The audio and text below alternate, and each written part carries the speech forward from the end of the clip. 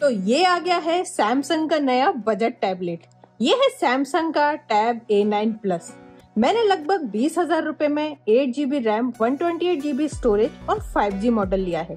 साथ ही इसका five thousand वाला कवर भी लगभग फ्री में मिल गया.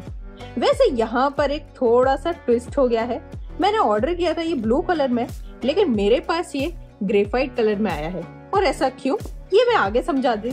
पहले इसे फटाफट से अनबॉक्स कर लेते हैं। मैं उम्मीद करती हूँ कि इसकी क्वालिटी बीस हज़ार की प्राइस को तो आराम से जस्टिफाई कर पाएगी। क्योंकि ये टैब A7 मैं पिछले चार साल से यूज़ कर रही हूँ और मुझे इसमें अभी तक कोई इश्यू नहीं हुआ। और अब ये टैब तो अच्छे प्रोसेसर के साथ है और 5G कंपेटेबल भी है।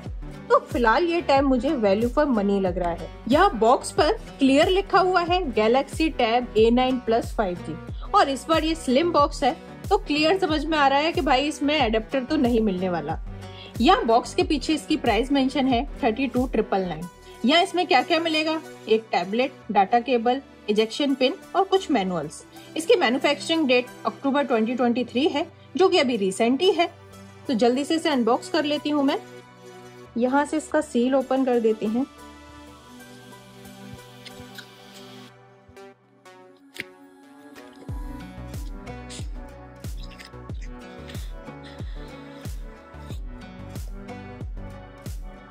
काफ़ी अच्छे से क्लोथ पैकिंग में मिला है हमें देख लेते हैं और इसमें।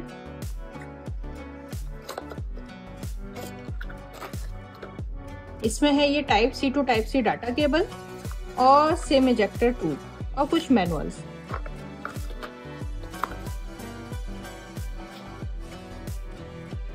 सैमसंग ने काफ़ी अच्छे पैक से पैक किया है इसको, जो कि काफ़ी अच्छी बात है। सबसे पहले इसकी डिज़ाइन एंड बिल्ड क्वालिटी की बात करूँ तो यहाँ इसका बिल्ड एल्यूमिनियम का है और ये फिनिश भी ना काफ़ी अच्छी लग रही है। और देखने में ये टैब इतना प्रीमियम लग रहा है कि कोई कह ही नहीं सकता कि इतने कम प्राइस पर इतना अच्छा टैब मिला है। इसका वेट लगभग 500 ग्राम है, लेकिन ये काफ़ी लाइट फील हो रहा है। इसका वेट मैनेजमेंट काफ़ी अच्छा है। ये बिल्कुल भी हैवी नहीं लगेगा यूज़ करने में। इसका ऊपर ये जो पार्ट है, ये प्लास्टिक का है। लेकिन देखने में ये प्लास्टिक नहीं मेटल जैसा ही फील हो रहा है। इसे प्लास्टिक का इसलिए रखा गया है कि हमको नेटवर्क क्वालिटी अच्छी मिल सके। और यहाँ साइड में सैमसंग की ब्रांडिंग भी देखने को मिलेगी। इसके फ़िज़िकल व्यू की बात करूँ तो इसके राइट साइड में पावर ऑन और ऑफ़ बटन और वॉल्यूम बटन वही इसके नीचे एक माइक्रोफोन मिल जाता है। इस टैब में क्वाड स्पीकर मिलते हैं तो दो इसके नीचे है और दो ऊपर। नीचे ही यहाँ टाइप सी पोर्ट है और एक माइक्रोफोन और मिल जाता है।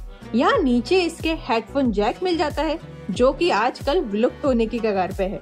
यहाँ इसके लेफ़्ट साइड में कीबोर्ड अटैच करने के लिए कीबोर्ड स्लॉट्स भी मिल जाएँगे। तो अगर इसके साथ कीबोर्ड भी ले लिया जाए तो इस टैब को एक मिनी लैपटॉप की तरह भी यूज़ कर सकते हैं।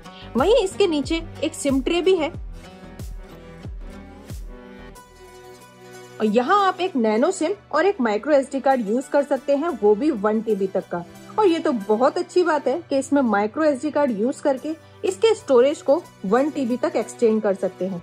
और ये एक 5G कंपेटेबल टैब है तो यहाँ 5G सिम तो आराम से यूज़ हो जाएगी। इसके बैक में 8 मेगापिक्सल का रेयर कैमरा है और इसके फ्रंट में 5 मेगापिक्सल की सेल्फी जो किसी भी मीटिंग या ऑनलाइन क्लास या किसी भी वीडियो कॉल के लिए काफ़ी है। तो बिल्ड एंड डिज़ाइन क्वालिटी के पॉइंट से ये टैब अभी तक मुझे काफ़ी अच्छा लग रहा है। अब फटाफट से इसका सेटअप कर लेती हूँ।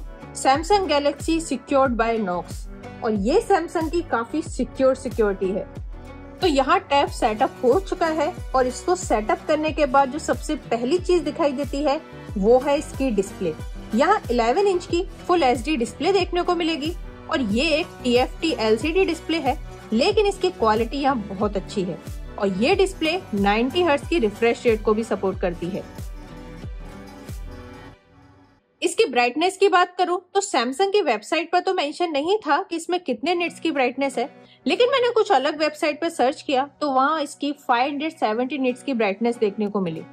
तो ये काफ़ी ब्राइट है। तो अगर इस पर कोई भी हम कंटेंट वॉच करेंगे तो एक्सपीरियंस काफ़ी अच्छा रहेगा। यहाँ अगर YouTube पर वीडियो वॉच करते हैं तो इसकी वीडियो क्वालिटी को 1080p तक ही स्विच कर सकते हैं। लेकिन इसकी डिस्प्ले काफ़ी बड़ी है तो यहाँ कंटेंट वॉचिंग एक्सपीरियंस काफ़ी अच्छा लगता है।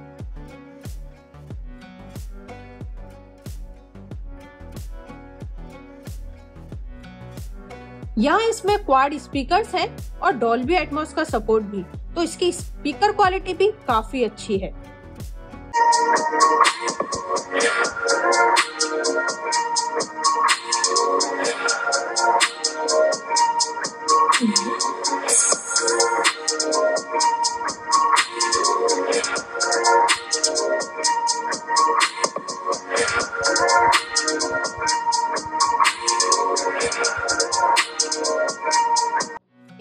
सॉफ्टवेयर की बात करूँ तो यहाँ सैमसंग का वन यू आई फाइव मिलता है, जो एंड्रॉइड 13 पर बेस्ड है।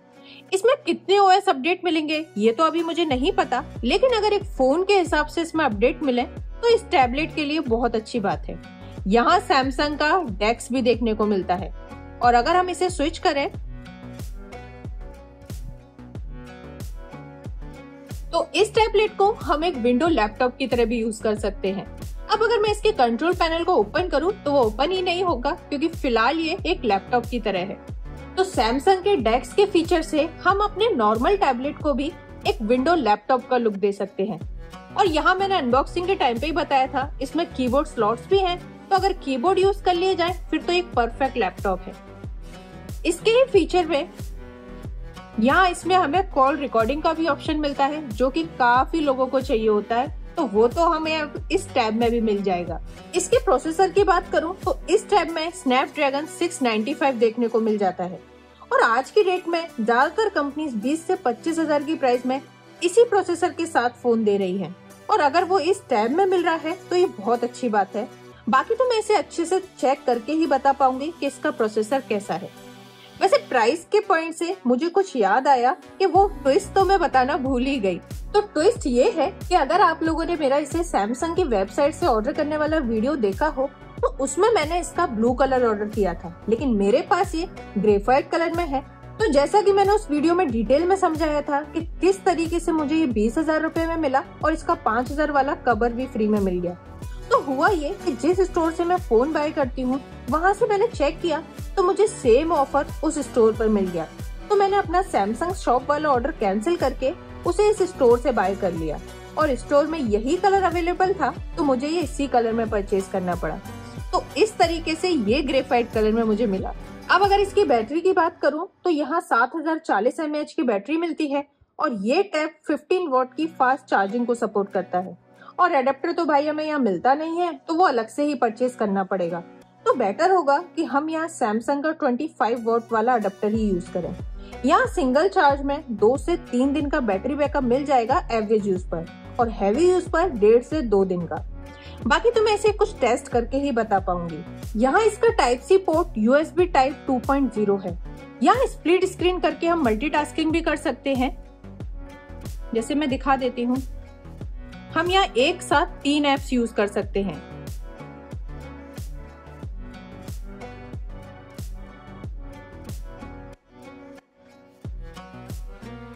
तो यहाँ मैंने गैलरी यूट्यूब और कॉल, तीन एप्स एक साथ यूज़ हो रही हैं। हम इन्हें पॉपअप स्टाइल में भी कर सकते हैं।